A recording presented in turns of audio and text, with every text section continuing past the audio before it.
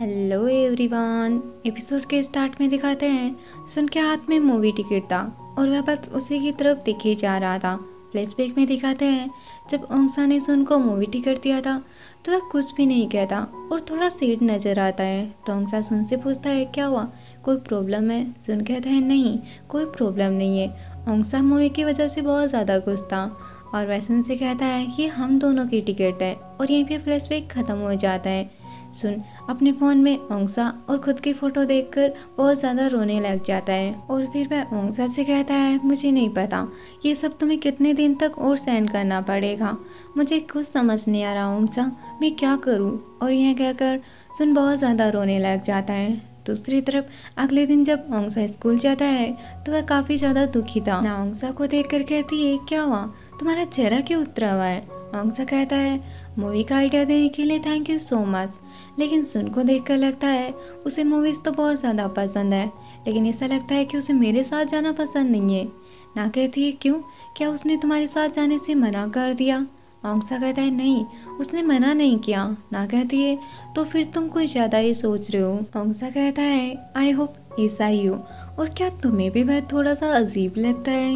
ना कहते है हाँ वह थोड़ा सा अजीब तो है, लेकिन जैसा कि तुमने मुझे उसके बारे में बताया ऐसा लगता है कि तुम्हें उसके बारे में ज़्यादा कुछ पता नहीं। ओंगसा कहता है हाँ और तुम्हें क्या लगता है, क्या हम किसी ऐसे पर्सन से प्यार कर सकते हैं, जिसे हम ज़्यादा जानते भी ना हो?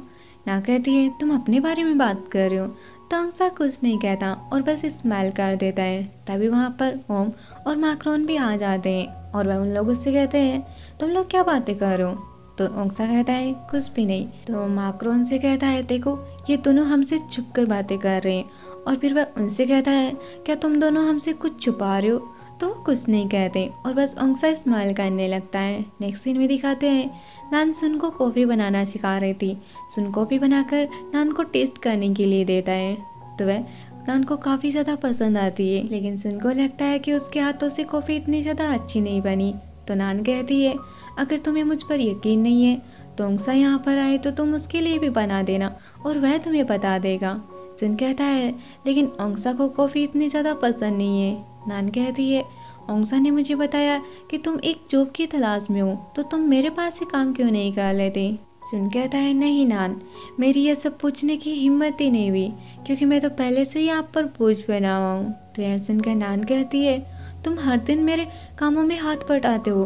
तुम शुक्रगुजार तो मुझे तुम्हारा होना चाहिए, और अगर तुम मेरे साथ काम नहीं करना चाहते तो कोई बात नहीं। सुन के आता है, नहीं नान, इससे कोई बात नहीं है। मैं भी तुम्हारे साथ काम करना चाहता हूँ। नान कहती है, इसका मतलब तुम काम करने के लिए तैयार हो?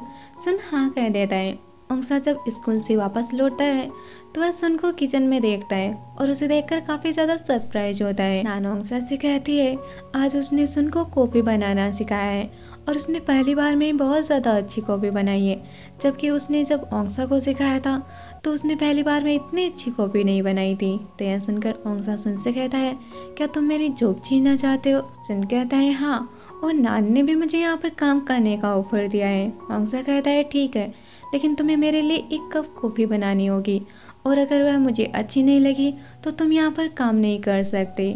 सुन कहता है ओके सीनियर? औसा कहता है, अगर तुम्हें कुछ पूछना हो तो तुम मुझसे पूछ सकते हो। सुन ओके कहता है, और कॉफ़ी बनाने लगता है। औसा देखता है सुन ने अप्रोन नहीं पहन रखा तो वह उसे अप्रोन पहनाने लगता है। तभी सुन पीछे घूमकर औसा का अप्रोन ठीक करने लगता है। तभी नान कहती है, हे, तुम दोनों क्या कर रहे हो? काम करने वाले हो या फिर नहीं? यहाँ पर कोई और भी है। तो औसा दूर हट जाता है और फिर काम करने लग जाता है। और जब औसा बाहर खेल रहा था तो सुन अंसा के लिए कॉफ़ी बना कर लेकर आता है। अंसा टेस्ट करता है और कहता है, ठीक ठाक है। और सुन कहता है, अगर ऐसा है तो मैं नेक्स्ट टाइम कॉफ़ी नहीं बनाऊँगा। अंसा कहता है, हे, मैं मज़ाक कर रहा हूँ। सुन कहता है, और मैं भी मज़ाक कर रहा हूँ। सुन देखता है अंसा ने अभी तक अपनी यूनिफॉर्म पहन रखी है। तो वह उंगसा से कहता है, तुम्हें खेलने से पहले यूनिफॉर्म चेंज कर लेनी चाहिए, वरना ये गंदी हो जाएगी। उंगसा कहता है, क्या तुम सभी बड़ों की यही आदत होती है? मेरी मॉम भी मुझसे ऐसे ही कहती है। सुन कहता है हाँ क्योंकि तुम हमेशा दूसरों को परेशान करने वाले ही काम करते हो। उंगसा कहता है, ऐसा है क्या? और यह कहकर वह सुन के शोल्डर पर सर रखकर सो जाता है। सुन कहता है, नींद आ रही है? ओंसा कहता है, नहीं, बस मुझे यहाँ पर बहुत ज़्यादा अच्छा लग रहा है तो क्या मैं कुछ देर के लिए ऐसे ही रह सकता हूँ? सुन कहता है, कुछ देर के लिए ठीक है। ओंसा सुन से पूछता है, क्या आपको मूवीज़ देखना पसंद है?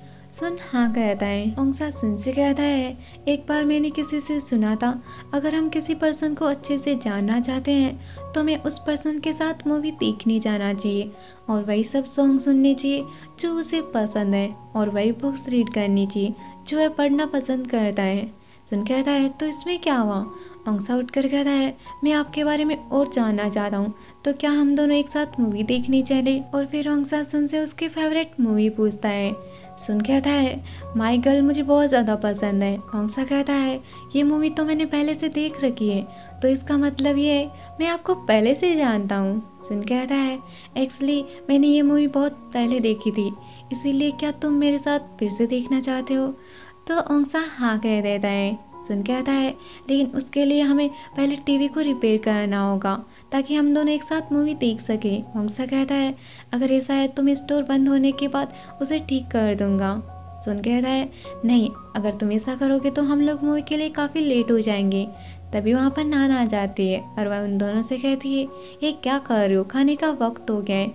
तो फिर वो लोग खाना खाने आ जाते सुन ओंसा को खाना परोस रहा था। तो नान देख कर कहती है, तुम्हें कैसे पता कि ये डिश ओंसा को पसंद है? तो सुन बस स्माइल कर देता है।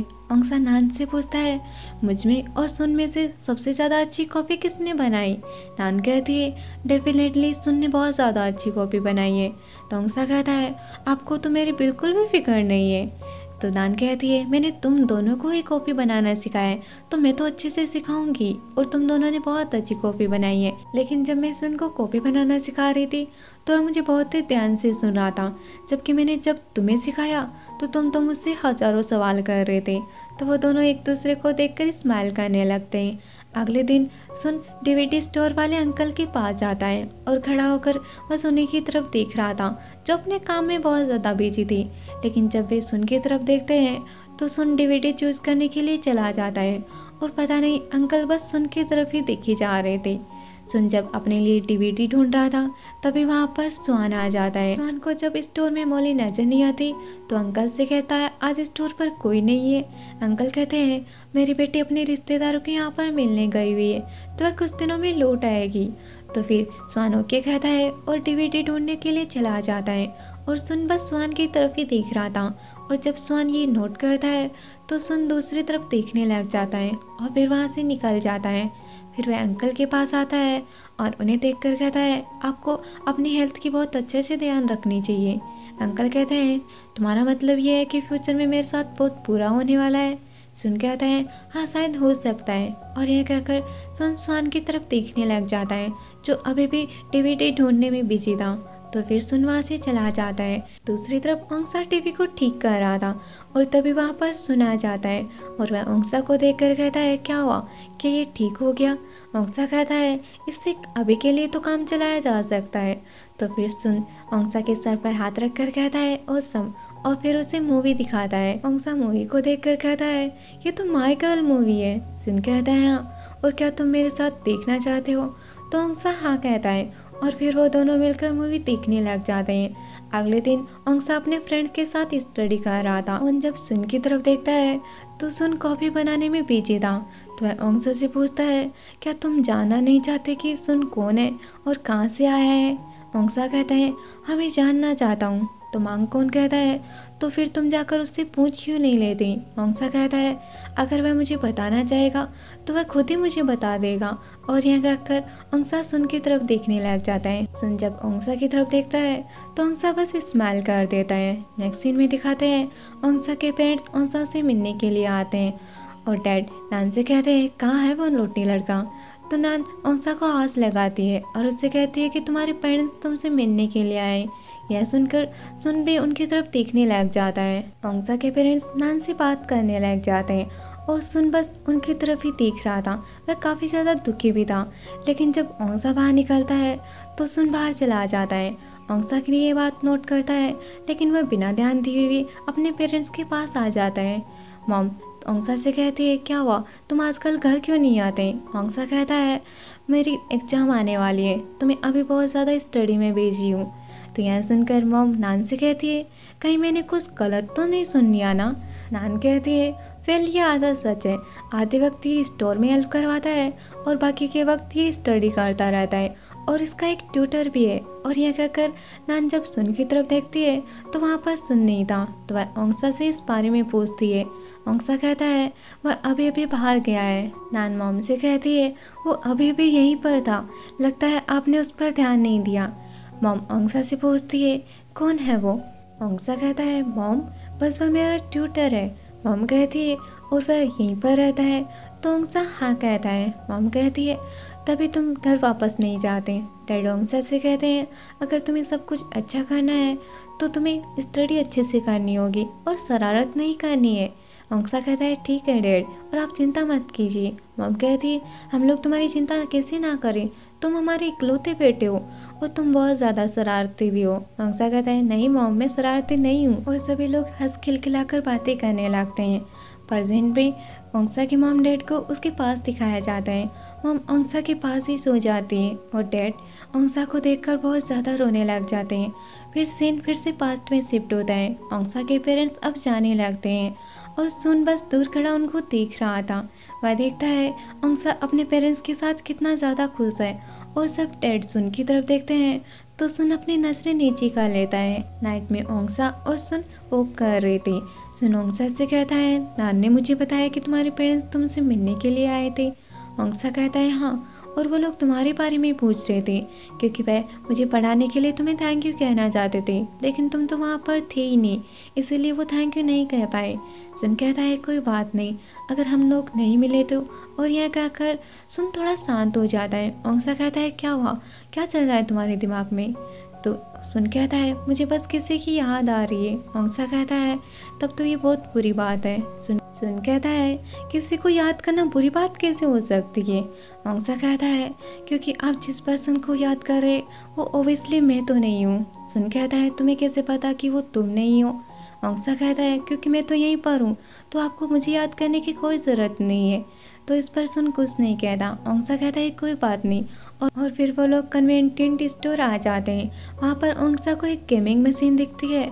तो वह सुन से कॉइन माँगता है, सुन उसे कॉइन दे देता है और फिर अंसा गेम खेलने लग जाता है, जिसमें बॉल्स निकलती थी, जिसमें कुछ ना कुछ थिंग्स निकलती थी। लेकिन अंसा के पास तीनों ही बॉल खाली निकलती है तो वह सुन से फिर से कॉइन माँगता है, सुन उसे कॉइन दे देता है। लेकिन इस बार ओंसा गेम खेलने से पहले कोर से प्रे करता है और फिर गेम खेलता है और जब बॉल निकलती है तो वह सुन से कहता है, अगर इसमें रिंग निकली तो मैं आपको दे दूँगा। और जब ओंसा उस बॉल को ओपन करता है तो उसमें रिंग निकल जाती है तो वह सुन को पहनाने लगता है। लेकिन वो रिंग काफ़ी ज़्यादा छोटी थी तो सुन कहता है, इतनी छोटी रिंग मैं कैसे पहन सकता हूँ? और यह कहकर सुन अपने हाथ का ब्रेसलेट निकालता है और उसमें उस रिंग को डालकर ओंसा को पहनाने के लिए कहता है। तो ओंसा उसे पहना देता है। और कहता है, ये आपका बर्थडे गिफ्ट है। Happy birthday Sun. तो सुन उसे थैंक यू कहता है। ओंसा वहाँ से चला जाता है और सुन मुस्कुराने लगता है। अगले दिन सुन कॉफ़ी शॉप पर काम कर रहा था और वह नान से कहता है, मैं अब यहाँ से जाना चाहता हूँ। नानी ये सुनकर कहती है, लेकिन तुम अचानक क्यों जा रहे हो? सुन कहता है, एक्चुअली मैं काफ़ी लंबे वक्त से सोच रहा था, लेकिन ये सब मैं अपार्टमेंट मिलने के बाद सभी को बताना चाहता था। नान सुन के जाने से काफ़ी ज़्यादा दुखी थी। तो सुन कहता है thank you so much nan. मुझे यहाँ पर रहने देने के लिए और मेरी इतनी मदद करने के लिए। अगर आप मदद नहीं करते तो पता नहीं मैं तो खो ही जाता। नान कहती है तो फिर तुमने जाने का मन बना लिया? सुन हाँ कहता है। नान कहती है, तुमने ओंगसा को इस बारे में बताया? सुन कहता है, शायद आज मैं उसे बता दूँगा। और जब ओंगसा बाहर वर्क कर रहा था तो सुन ओंगसा के पास आता है। और उसे मूवी टिकट देते हुए कहता है, शायद मैं तुम्हारे साथ मूवी देखने के लिए नहीं जा पाऊँगा, क्योंकि मैं बहुत जल्द यहाँ से जाने वाला हूँ और मूवी उसके बाद रिलीज़ होगी तो हम दोनों साथ में मूवी नहीं देख पाएँगे। ओंसा सुन से कहता है, लेकिन आप कहाँ पर जा रहे हैं? ओंसा कहता है, बस यहीं कहीं आसपास में ही रहूँगा। ओंसा कहता है तो आप यहाँ से कब निकल रहे हैं? सुन कहता है, मैं कुछ दिनों में यहाँ से चला जाऊँगा। ओंसा कहता है, लेकिन आपने अचानक जाने का मन क्यों बनाया? सुन कहता है ओंसा मैं भी अपने घर जाना चाहता हूँ।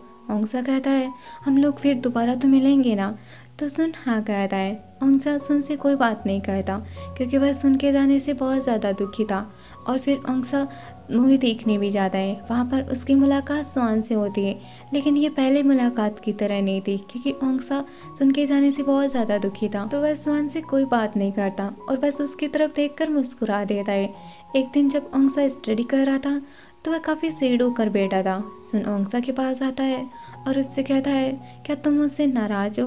ओंगसा कहता है, नहीं, मैं आपसे नाराज़ नहीं हूँ। सुन कहता है, तुम ऑब्वियसली मुझसे नाराज़ हो।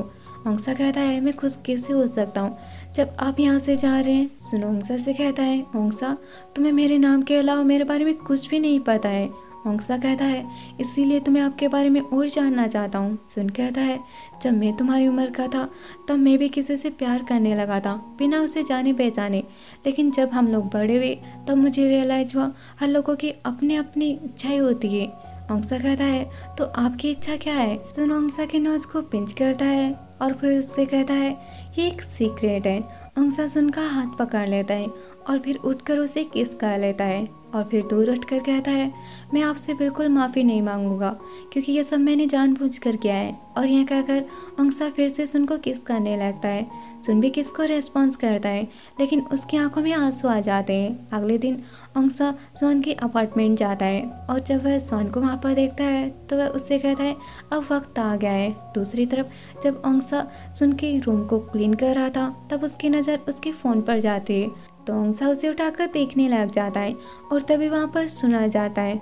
सुन देखता है अंगसा स्क्रीन ऑन करने वाला है। तभी वह ज़ोर से अंगसा को आवाज़ लगा देता है। तो अंगसा सुन की तरफ़ देखने लग जाता है, लेकिन वह काफ़ी दुखी नज़र आता है। तो गाइस नेक्स्ट एपिसोड में हम देखेंगे, क्या अंगसा ने सुन और अंगसा की प्रोफ़ाइल पिक्चर देख ली या फिर नहीं देखी। और अगर देख ली तो उनके रिश्ते पर क्या असर पड़ने वाला है? ये सब तो हमें नेक्स्ट एपिसोड में ही पता चलेगा। और अगर आज का वीडियो अच्छा लगा हो तो प्लीज़ वीडियो को लाइक शेयर और चैनल को सब्सक्राइब भी कर लीजिएगा। Thank you for watching bye